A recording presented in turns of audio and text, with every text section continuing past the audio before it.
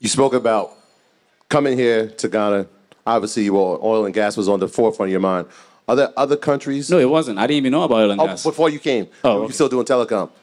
That became the business. Are there other countries on the continent, there's 54 that people should be looking at, that there's opportunities inside of them as well, right? Because we know Ghana, and for America, it feels like this is the first place we got to come. Talk about some of, some of the pros and cons of, of some of the countries, and, and where are those countries uh, on the continent? Great I mean, question.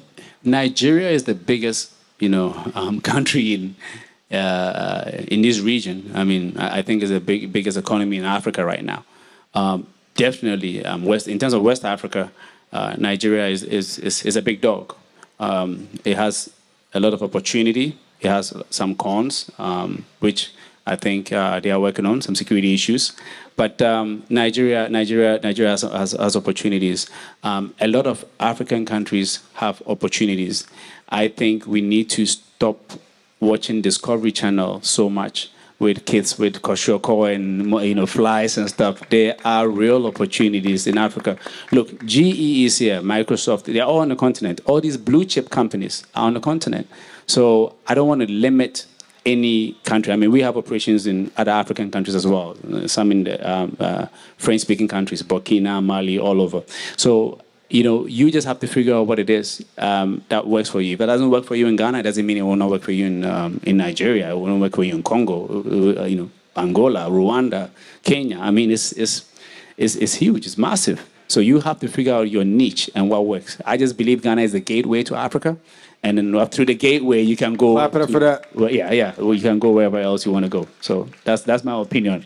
Africa is open. I mean, Ghana is open for business, but Africa is also open for business. So we want to thank you. Be generous with your time. My last question is: um, In ten years, what's what's your plan? How do you where do you see yourself? You know, in ten years from now.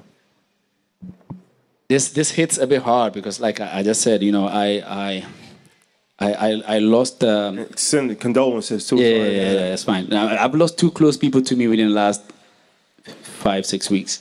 Um, and what I've learned from this is that a lot of times we focus so much on the past and the future and we don't enjoy you know the, the, the moment that we are in i think we need to start enjoying the moment that we are in we need to start. And what do I mean by that? If there's something that I can do today, I'm going to get it done today. I love that. If there's someone that I can help today, I'm going to help you today. I am not going to wait next week because you know what?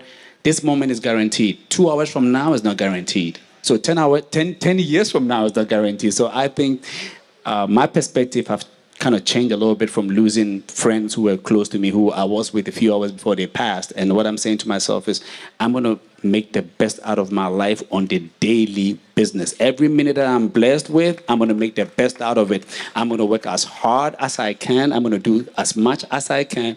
And I'll try and enjoy life as much as I can because all the plans that we make are not guaranteed. When we leave here, nothing is guaranteed. So my, my, my kind of new um, approach is yes, I have plans. You know, we have we, we want to take over Africa. We, we want to be able to touch so much lives. You know, we support um, about ten thousand underprivileged children. We want to move it to about a million. You know, underprivileged children. We want to make sure that we are we are we are we are the, we are the go-to company in Africa. All those things, yes, they're all well and good, but I want to enjoy the moments. I want to enjoy it now. I want to enjoy all the people that are here um, Yes. in Ghana, you know, and wish everyone the best of luck or whatever it is they are doing now. I'm not going to wait and wish the best of luck for whatever they're doing in the next five years. So that's how I see life right now. Make some noise, ladies some and noise for gentlemen. this brother. Kevin Thank you. Okyere. Thank you. Thank you, bro. Thank you.